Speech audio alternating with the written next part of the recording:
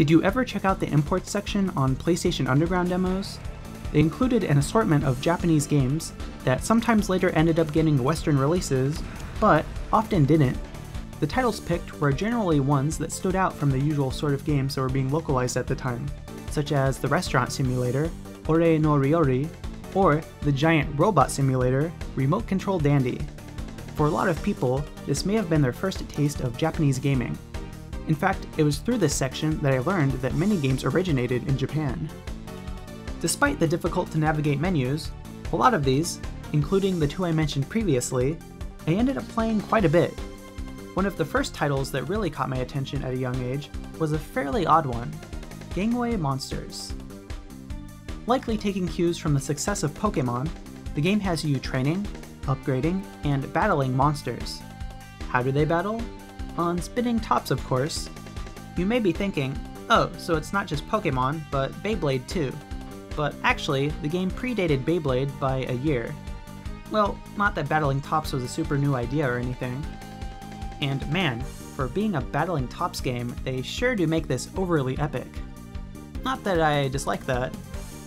But yeah, possibly because of the Pokemon similarities, and the fact that PlayStation didn't have its own Pokemon game, I replayed the game's demo over and over again.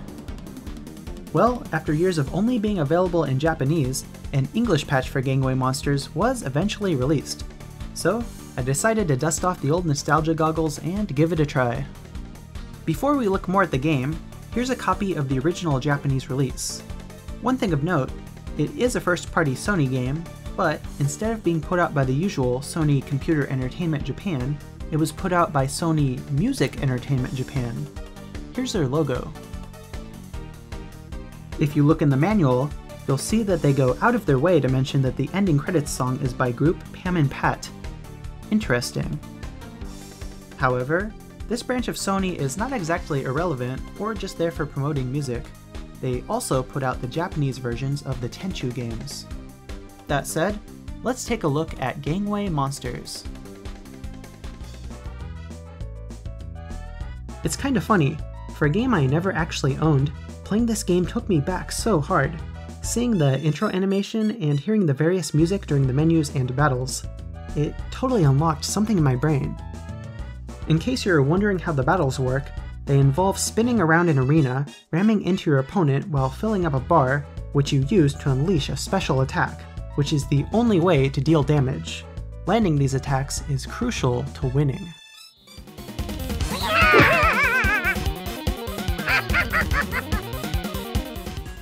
Of course, what's equally crucial is strategically upgrading your monsters.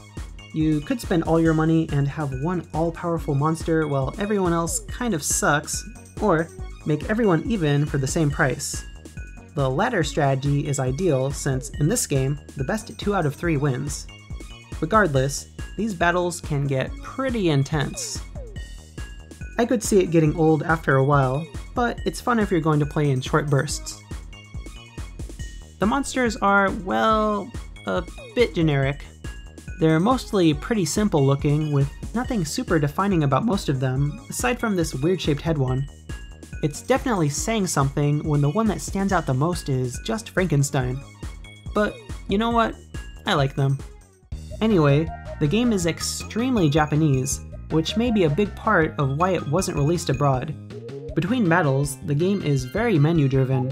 In fact, maybe a bit too menu driven. It basically plays like a visual novel with no cutscenes as far as I can tell after the intro. Just reading and reading what your friends and opponents have to say. Actually, here's where you may start noticing an issue with this English translation. Don't win the game if you can't fall. That? You have a runny nose. Oh no! Just kidding. Ha ha ha ha ha. Seriously, what the hell is going on here? Something is really off. It's not just that either. A lot of the menu is still in Japanese. Luckily, it is English written in Japanese. For example, this says Battle, Setting, Status, Shop, World Map. And not the Japanese equivalent of those words, it literally says them in English, just written in Japanese characters.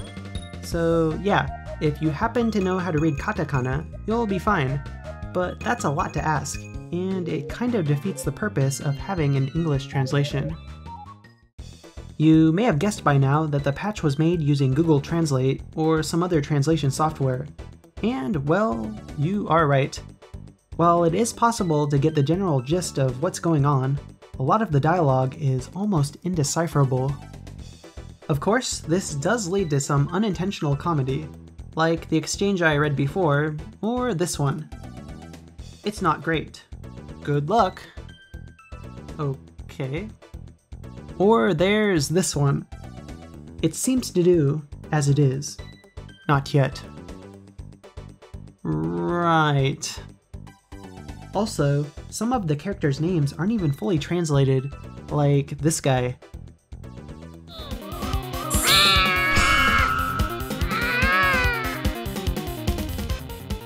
You might also be thinking that the game saying, Oh my god!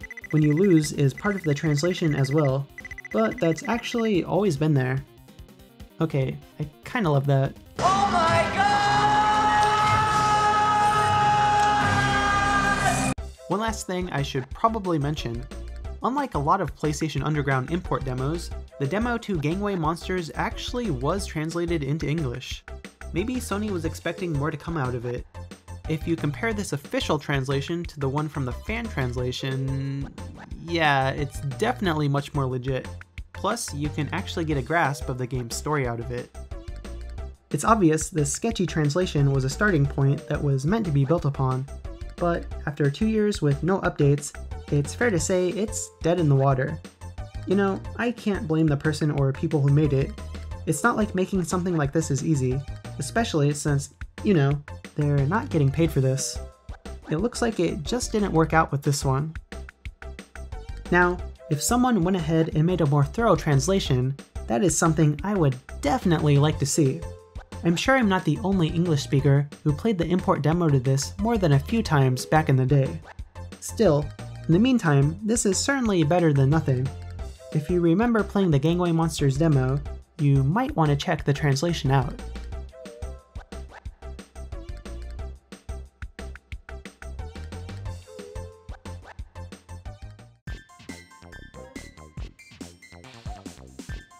If you enjoyed this review, be sure to subscribe to see more in the future when I plan to review more English translated games, such as the PS1 Mech Simulator Remote Control Dandy.